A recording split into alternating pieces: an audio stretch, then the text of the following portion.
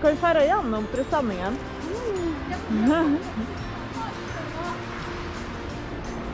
Ah! Nei, ikke Du kan jo røre litt på det. Ja, for det, er sånn det, det, eh.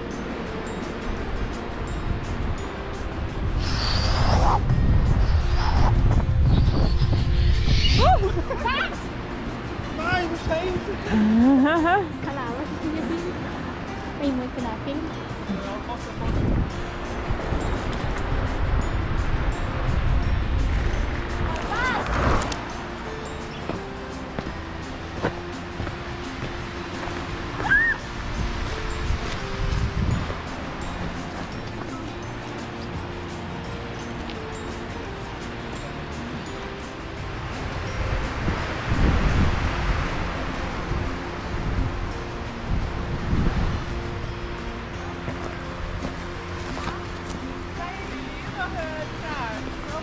Ja.